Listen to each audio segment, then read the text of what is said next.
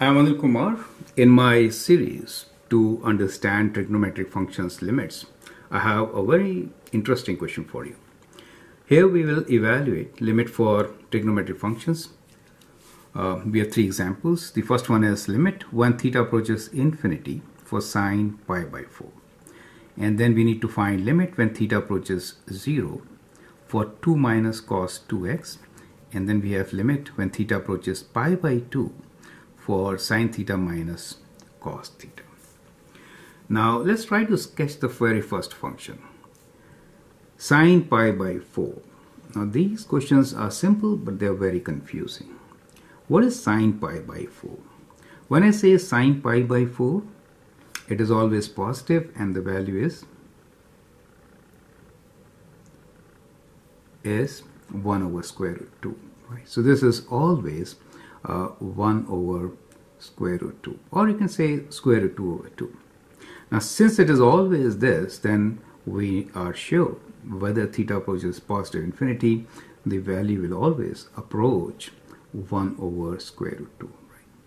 So at times you can rationalize this right so multiplying by square root 2 you could also write this as square root 2 over 2 so that becomes the limit for this function this is a constant function, right?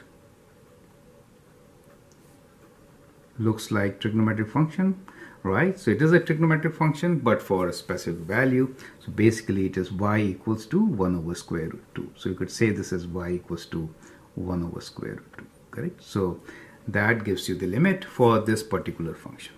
I hope you find it interesting.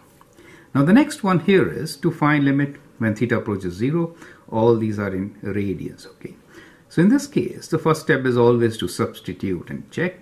Now since these are continuous functions we could always do that correct? So let's figure it out. So it is 2 minus cos of 2 times we'll substitute 0 here. 2 times 0 so which is equals to 2 minus cos 0 and we know cos 0 is 1 so it is 2 minus 1 and so the limit is 1 so right we have this answer. So limit of this function is equal to 1 okay.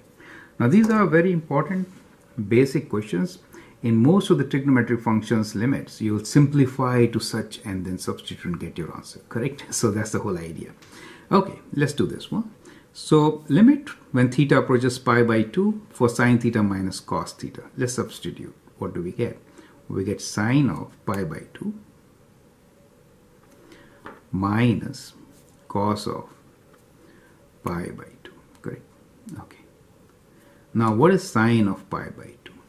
Sine of pi by 2 is 1 and cos of pi by 2 is 0. So we get 1 minus 0 which is 1 and the answer for part C is equals to 1 correct so that is how you can find limit of these trigonometric functions now in first three questions we have found the limit by direct substitution or looking at the graph now we'll get into examples where uh, sometimes trigonometric functions may be simplified to find the limit uh, okay, I hope till now things are absolutely clear. I'm Anil Kumar. You, are, you should feel free to share your questions and comments.